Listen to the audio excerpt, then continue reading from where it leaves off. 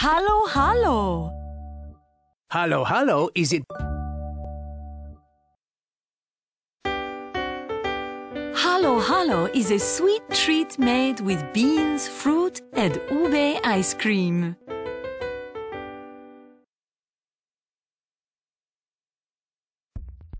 This first step is really cool and fun, making the purple ice cream.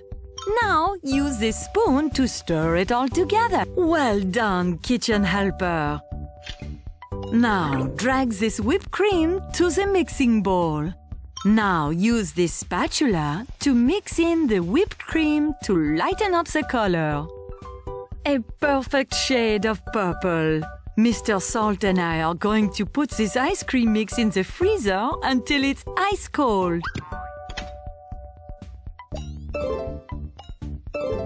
Coconut gel?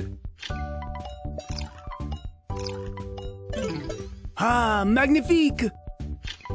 Now let's drizzle a little evaporated milk on top of our halo halo by dragging it over to the bowl.